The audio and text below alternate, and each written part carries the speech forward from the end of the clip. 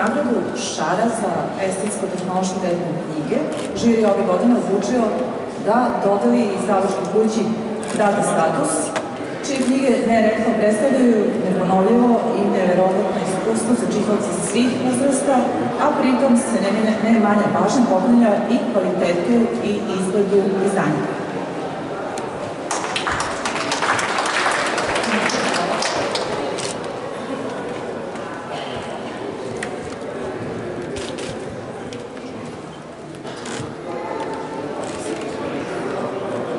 Nagrada Loza za najbolje pojedinačno izdanje koje oferiše knjigu u užem ili širem smislu, ove godine dobija Prometej, izdavač poznat po vrhunskim istorijskim knjigama za više svojih izdanja, Jelovnik Nikola Tesla, Predraga Puzića, Radna dnevnica od 1912. do 1916. Stanislava Krakova i Dahijska vremena na Kosovu i Metohiji od 1878. do 1899. Slaviša